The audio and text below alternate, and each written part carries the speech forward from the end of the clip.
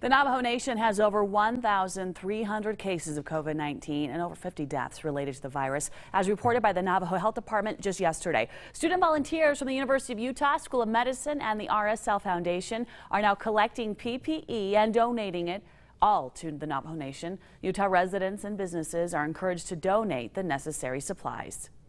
This is just one component of some other contributions that have already been made by the University of Utah to help the, uh, caregivers in that area.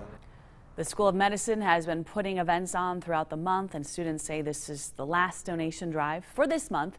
Milo Fowler is a former resident of the Navajo Nation, and he says the people who live there need basic essentials right now, even just food and water. Next week, the RSL Foundation will be making a trip to the Navajo Reservation to distribute the donated materials. If you have items to donate, you can contact the University of Utah School of Medicine.